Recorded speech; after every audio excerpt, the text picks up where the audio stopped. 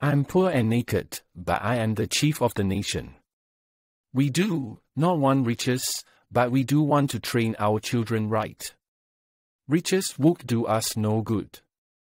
We could not take them with us to the other world. We do not want riches. We want peace.